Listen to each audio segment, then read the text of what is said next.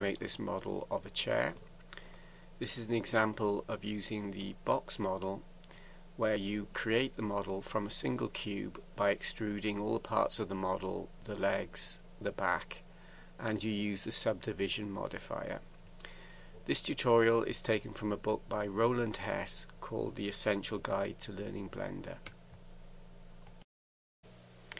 To make the base of the chair, I'm going to alter the dimensions of the cube the scale of the cube. I'm going to set in the x scale to be 4 the y scale to be 4 and the z scale to be 0.5 now I'm going to add the modifier, the subdivision modifier.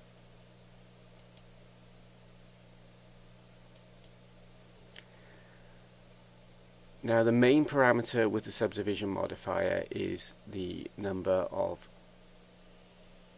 uh, subdivisions to perform. Now to have a closer look at this I'm going to go out of quad view. For this box modeling I won't be using quad view. I'm going to uh, have a sort of three quarter angle slightly from above and I'm going to zoom in on that. I did that by dragging the middle mouse button followed by the mouse wheel. Now as you increase the number of subdivisions, you get more and more polygons. That affects rendering time. If you want to use this model uh, real-time animated in a game, you would need as few polygons as possible. If you wanted photorealism, you'd want a lot of polygons. For this demonstration, I'm going to set this value to be 4. Now I'm going to go into edit mode and we see our original cube and then in the middle the model, the mesh having the modifier applied. Now the modifier knocks the corners off the cube and smooths it. We want to put some of the corner back in. To do that we use loop cut and slide. As I click that if I come to one of the sides of the cube that runs parallel with the y-axis, I get a perpendicular cut parallel with the x-axis, and if I come round and come up to an edge that runs parallel with the x-axis, I get a perpendicular cut which is parallel to the y-axis. I want to do two cuts uh, parallel with the x-axis. Now I click and then we're in slide mode. Now, as soon as you go into slide mode, uh, I'm looking now at this number here, edge slide percent. I want to set it to 0.9 90% for all sides. The main thing to watch for is if it goes negative. Now, at the moment it's positive. I've released the mouse and I'm typing 0.9 and pressing enter. And I'm going to repeat that, loop cut and slide, click to start, go into slide mode, have a look, now that is minus down there at the moment, so I'm hitting minus 0.9, pressing enter, loop cut and slide, now parallel to the y-axis, click, I'm in slide mode, look to see if it's negative, it is, so I'm hitting minus 0.9 enter. And finally loop cut and slide parallel to the y-axis. As I slide down it's negative so I want minus 0.9 enter. Now I'm going to repeat the process using a value of 0.8 or 80% so loop cut and slide. And come down the bottom and look to see if it's negative it's not it's positive. So I just type in 0.8 and enter. Loop cut and slide. Click slide minus 0.8 and enter. Loop cut and slide.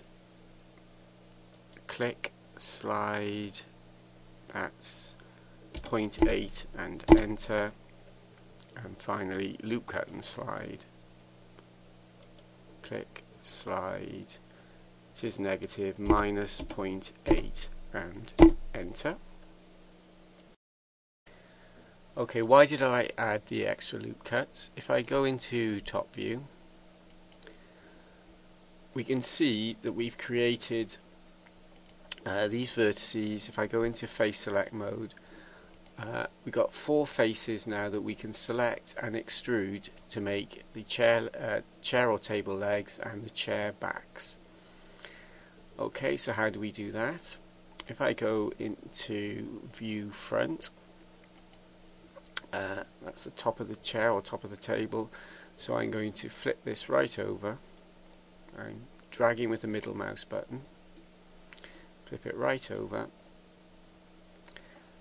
I'm going to select the four faces. Now I have to hold down shift to select the other three. I'm going to press E to extrude. Now I automatically get it constrained in the Z direction which is what we want and I'm going to press a numeric value 6 and enter and there we have four chair or table legs.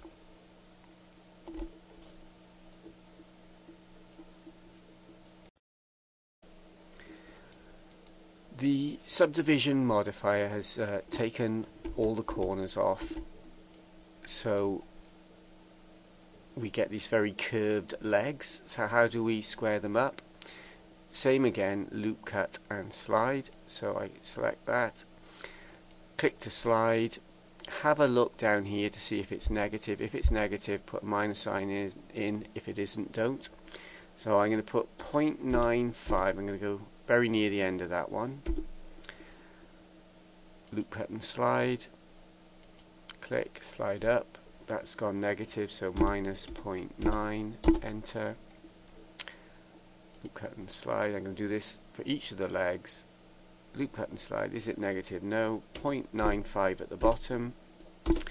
And I'm going to go for 0.9 at the top. Is it negative? Yes. Minus 0.9 and quickly do the other two legs slide is it negative? No.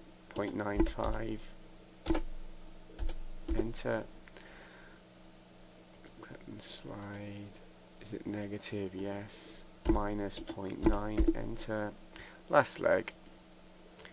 Slide down. Is it negative? No. 0.95 enter. And loop cut, cut and slide go up. Is it negative? Yes. Minus 0.9 enter. A chair or table with perfectly perpendicular legs would not be very stable. To make it more stable we need to splay the legs. Now there's several ways you could do this but a clever way of doing it is as follows. Make sure you're in face select mode. Select the bottom ends of the legs, hold down shift for the other three. Now if I press uh, S to scale uh, we can push the legs out but they would also make the ends of the legs bigger. So how can we prevent that? Well there's this button here, manipulate object centers only. If we select that and press S to scale and we can push the legs out without increasing the size of the ends of the legs but it's we have got another problem it's not spreading down the mesh to move the entire leg so how can we do that? Uh, the answer is put proportional editing on. So if I click this and enable proportional editing um, it's by default on smooth. That works fine but I'm going to put it onto linear. Now when we uh, press S to scale I'm going to enter a, a, numeric value, a scale of factor of 1.1 now it's still uh, bending the legs a bit so if I move the mouse wheel the proportional editing increases and it, the effect spreads back down the mesh now we want to go all the way down the leg but not to the base if I go too far, the base starts to be scaled, and I don't want that. I just want the legs uh, to be splayed and about there if I press enter we have splayed legs. There's one more thing we can do to the legs while the ends are selected and that's taper them. Now I'm going to alter the geometry this time so I don't want this button pressed so I click it again. I don't want proportional editing so I'm going to disable that. Now if I scale normally it would scale about the midpoint between the four faces. I don't want that I want to scale about the individual center of the faces so I select individual origins. I then press S to scale. I'm going to enter a numeric value. I'm pressing 0.5 and enter and it's tapered all the ends. Now that's all I'm going to do for uh, the legs of the chair or table. Now I'll just get that so that uh, the X is pointing that way and